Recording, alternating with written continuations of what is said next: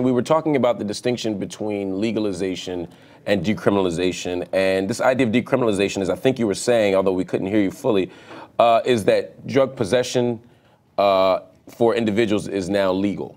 People can smoke it, they can use it, uh, but distribution and trafficking is, is, still a criminal a criminal uh, offense. Is that, is that is that a fair is that a fair description of, the, of, of what's going on?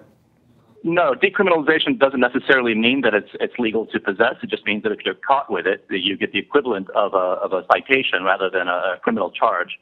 Um, so it's not the same as legalization. Legalization uh, would imply greater state control or possible regulation, taxation, that sort of thing.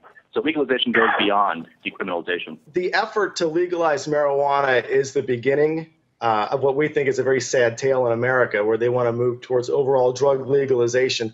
So I appreciate the honest discussion on this because uh, that's my concern. As a dad, I got four kids, and we got to look at it, at least in my perspective, what kind of community do we want to raise our kids in? Uh, I always come from it from a moral perspective, whether a Democrat, Republican, um, it's always about our kids in our community.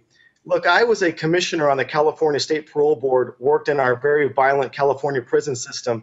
Uh, I never once came across somebody there for minor marijuana possession. And as a former addict myself with over 25 years sobriety, I can tell you that we don't like hearing the term drug war.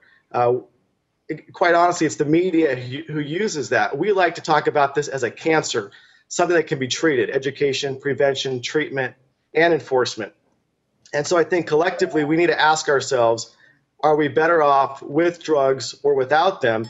And without them, I think we've got a much better uh, society for our kids to be raised in.